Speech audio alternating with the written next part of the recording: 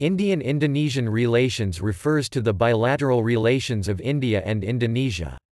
India and Indonesia are neighbors. India's Andaman and Nicobar Islands share a maritime border with Indonesia along the Andaman Sea. The Indian-Indonesian relationship stretched back for almost two millennia.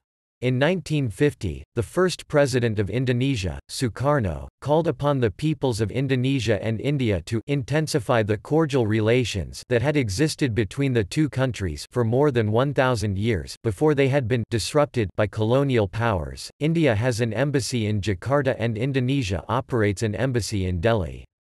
India regards Indonesia as a key member of ASEAN. Both nations had agreed to establish a strategic partnership.